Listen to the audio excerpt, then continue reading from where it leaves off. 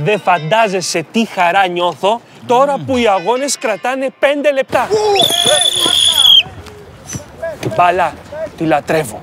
Το ίδιο και το φαγητό.